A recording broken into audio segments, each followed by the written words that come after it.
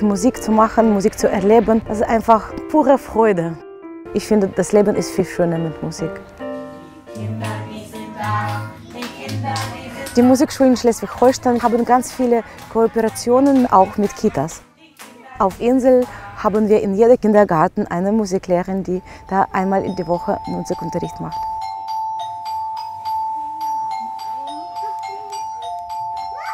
Also im jungen Alter ist Musik ja besonders wichtig und wir arbeiten seit einigen Jahren sehr eng mit ganz, ganz vielen Kindertagesstätten, Kindergärten zusammen, weil wir dort einfach alle Kinder erreichen.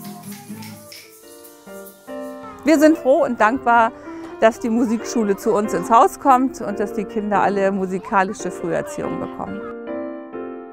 Musikalische Früherziehung ist so wichtig für die Kinder. Ne, da läuft ganz viel ab, was die Kinder lernen in ihrer Entwicklung.